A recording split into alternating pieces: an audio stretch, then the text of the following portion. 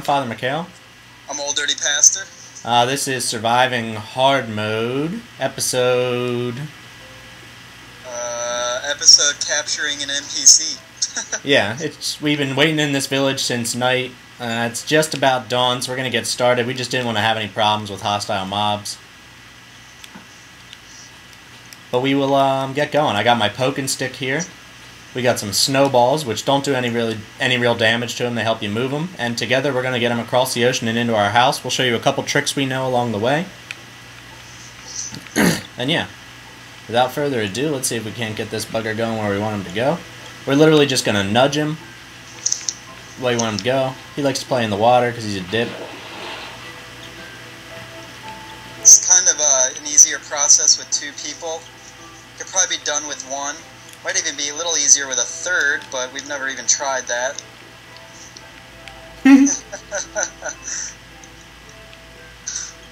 Anytime you get him in spaces like this, you can always move him with water.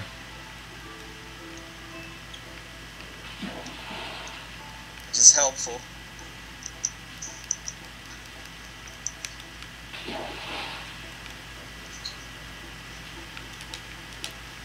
As you can see there, I threw a couple of snowballs at him. That's why he was turning red. It acts as if it's doing damage, but I don't think it's really hurting him. Could be wrong. I'm not 100% on that. We'll need to come up with a name for him. It's better when you can yell at him by name.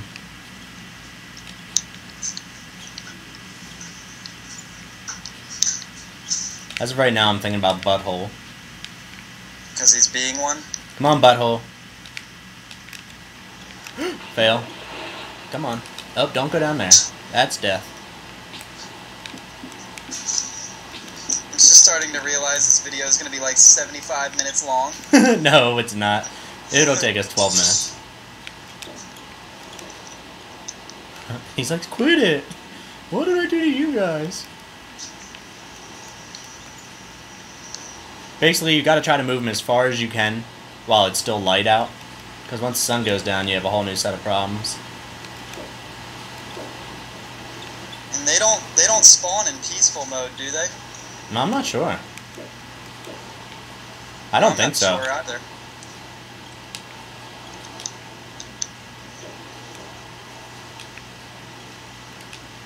Come on, buddy, out into the water. Well, you prefer butthole. I think I'd prefer cocksucker. Fucking cocksucker. With me and Pastor, normally one of us stays on the left and one of us stays on the right. So, Pastor, you try to stay on his right short, I'll stay on his left, so he has no choice but to go where we want him to.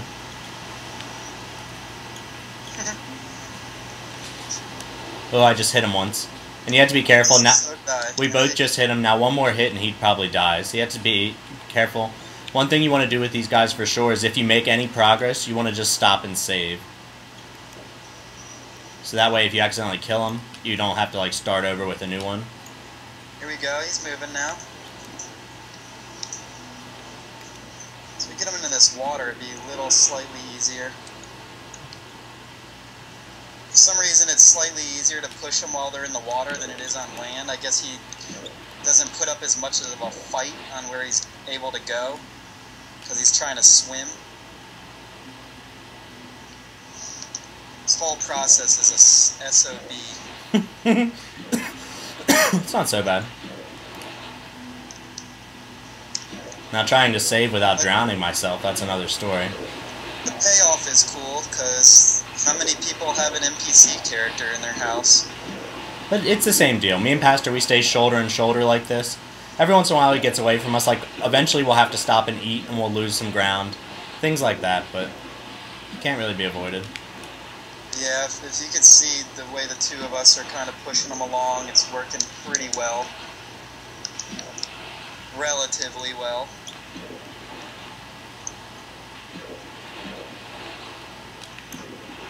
Once we get them over to the land over here, we're going to probably end up doing the tunneling system that we do. Because that land uh, across the water there, that goes, it's pretty much connected right to our home.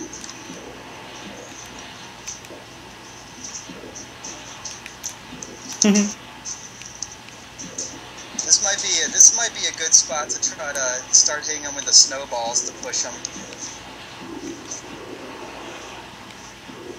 I'm almost out of He snowballs. doesn't, he doesn't drown himself. I have a feeling we're gonna kill him. I'm starting to have that terrible feeling too, but hey, it might be for the good of the video. And even though that would be terrible for the video. oh yeah, terrible. My fault. When I said good, I meant terrible. It's an opposite day here in Here in hard mode. Here in hard mode, yeah. Back up. Back up. Back up. Back up. Yeah, see there you go. There's the snowball method Back working. up. Back up. Back up. Yeah, really. In this the thing about hard mode is you have no problems as long as it's daylight. If you can get them back before dusk, you're golden. It's it's if it turns to be if it you know if it becomes nighttime, then all of a sudden you got serious problems. Pastor, we should try to save some snowballs for when we got to get them underground. I, I actually have zero left. Well, when we get them underground, I think we could just use our water. Well, but we got to get them underground first without killing them. Well, that's the touche. I am out of snowballs. I only had a stack with me. That's I all right. We covered a lot of ground real quick there because of that. I probably should have had like seven stacks. But we kind of did this uh, spur of the moment. I actually have like a full inventory. We just came from a mining excavation. As soon as we get them to land, I'm gonna save real quick, even if it's just this little piece here. For some reason, these these guys will always walk back towards their home, and we think that's how Jeeves number one escaped. That's why we have J2 in the house there. One day we left the door open, and we think Jeeves one just walked out the door and walked home. and how sad were we to find an empty house? So sad that we slaughtered an entire NPC village. Jeeves, all of his parents, all of his friends, everyone he ever knew suffered because of him. we pillaged the village.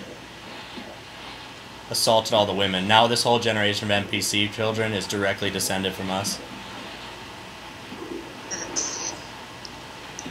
On, Jeeves. One quick thing on a good wheat source is the NPC villages. You can go, you can go take all their, farm all their wheat and just replant it. So that's a good wheat source to do. And depending on what this uh, next update comes, you know, maybe we'll have iron golems and we'll be able to trade with the NPCs and breed them. Yeah, I'm really hoping that that's in the update. I've heard rumors that it is. I'm just gonna. idea to save it there because we are close to the land. Yeah. So now that we got them across the water, I'll save. It's it's been about eight minutes so far. You can see it's a slow process, but within 15 minutes we should be in the house. This next part moves a little bit faster, I think, as long as everything goes right, which it almost always does. Almost always. As in the first two times we did it, it didn't go right at all, but we think this time it'll be different. Mount Jeeves, don't be a butthole. go to the video. I got my poking stick out. See, your poking stick's all business. It's like a smite 4, sharpness 5, light him on fire too. Mine's just a stick. Yeah. I'm gonna poke him with this torch. Alright. No.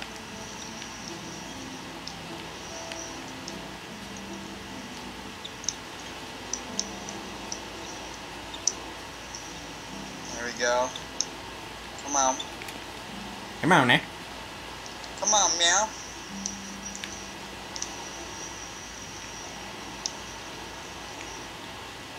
Alright. Oh. Of course I fell in the water.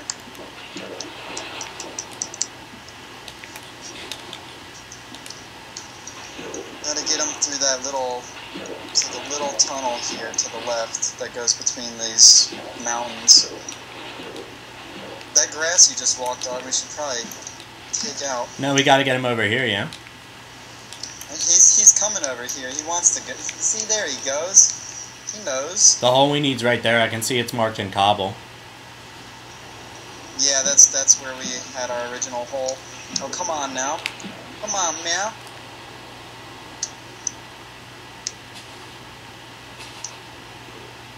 Clay. That we don't need.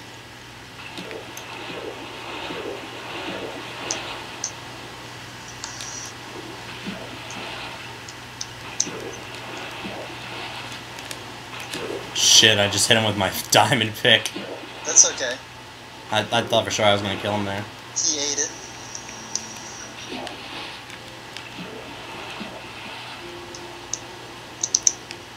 Come on, Jeeves. We gotta get him a little bit farther before nighttime or we're gonna have issues.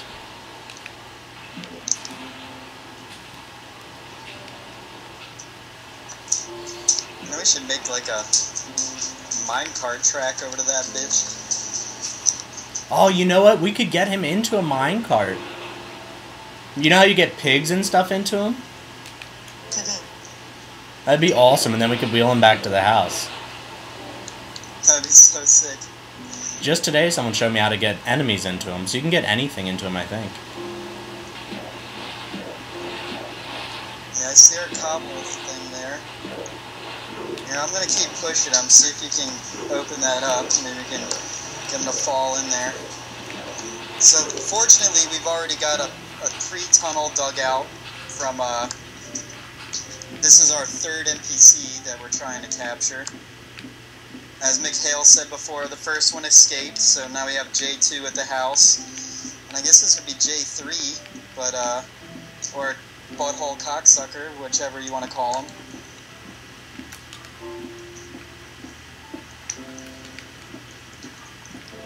Pardon the language for you young viewers out there. Are you okay? Let me know if you're about to lose him, and I'll come back. Uh, no, I'm about to get him into this tunnel. There he, oh, there he goes. He's in. Alright, as soon as you get past him, block him. Shit, is he going the right way? Oh yeah, he's going the right way. Alright, we're good. Now you know what? Now I got my water. I can just flush him out. Well, hold on until I get down there. I'm clearing a path real quick. I'm just trying to f- see where I am before I go too much further. I'm hoping I'm even in the same tunnel as you. I think I am. Yeah, you are. I just found our old one. Well, I'm moving him right along. Alright, just make sure you keep putting blocks behind you to stop him. Well, he doesn't really. He, he can't really. Yeah, he'll uh, get past you and then he'll start beelining the other way. Yeah, you're right. He is trying to do that.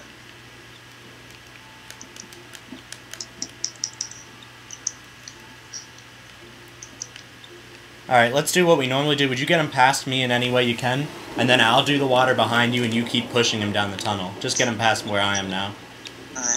Alright. He's good. Alright, so what we do is as we make progress, I block up the way and then I dump a bucket of water. And it You keeps. Oh, yeah, good. Yeah, that's taking him up to where the other tunnel is. Well, that was fast. Up here's the other tunnel. Couldn't see it at first. Here, get back up here, get back up here. Go ahead, get ahead of me. I'm in the tunnel. I'm just trying to get him to. There you go. He's following. And so I just keep walking backwards and putting my back against him, and then, like I said, I dump water. It pushes him past her, just behind him too. And then I just keep adding a block and then dumping some more water. Actually, he's in between us, but that's okay. Well, that you'll well, that'll be important because eventually you're gonna have to clear ahead of him. Oops, we got him in a little divot there. There you go.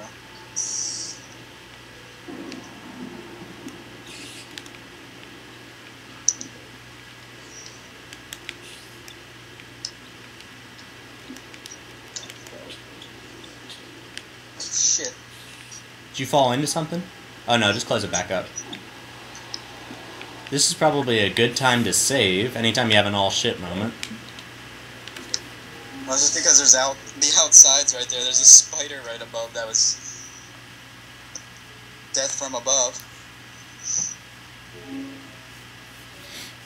And so, like we said, basically what you want to do is you want to move them as far as you can by day, and then once you get them near your house for nighttime, we usually dig a tunnel that's two blocks high. Like so. And then we just keep moving them. I keep my back to them, I push them as I'm going, and then I dump this water. It moves them towards Pastor, and I just repeat.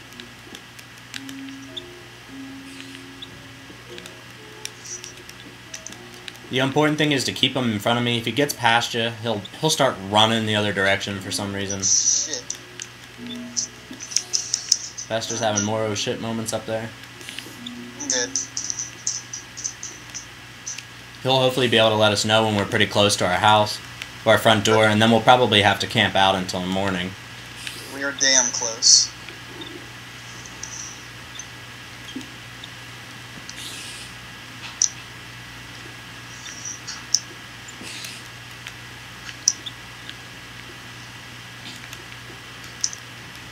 Just keep flushing them, and I'm at the end.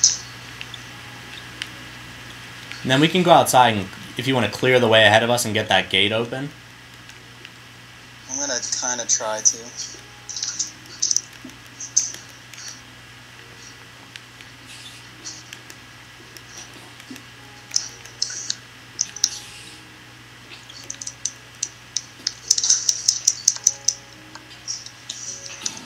Oh shit!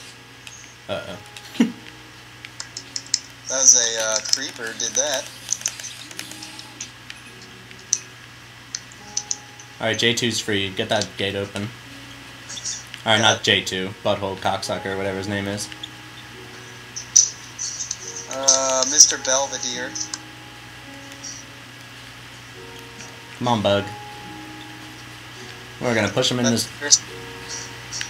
The beauty of our fence entrance here is all we gotta do is get him in there, and then he's pretty much trapped, at least in that part of the house. There we go. We gonna just want to take him downstairs. Watch this little drop will kill him. Yeah, right? And he's dead. No, he's not. I know. Come on, Jeeves. Almost got him inside. Oh, oh, no, no, no. That was dirty trick you just played on us, Jeeves. Right. and now we have a new manservant. Oops. Probably gotta watch out. They can use wooden doors. So if you're gonna keep one in your house, you gotta make sure you give him iron doors, or he'll get out. Where'd he Jeeves. go? There he is. Jeeves, we should probably put in here in this room with the uh, with the wolf and stuff. But I don't know that we need to show them all that. We'll go put them in the cage there and we'll save the game. We just thought we would show you guys how you can bring an NPC back to your home for decoration. Uh, another thing to watch out if you're going to leave him roam free is he'll walk right into that fireplace. They're not very smart. And so if you're going to have them roaming free, no doors that they can open. And, uh, yeah. Are you burning them to death for the video? No, I don't want to. I'm trying to push him into our room back there. so I'm saving the game before Pastor burns them to death. but, but either way, I'm uh, Father McHale, I'm Ol Dirty Pastur. and we just thought we would show you how to capture Jeeves, or J3, or Butthole Cocksucker, or Mr. Belvedere, whatever you would like to call whatever you want to call them. And um, yeah, you guys take care. Easy.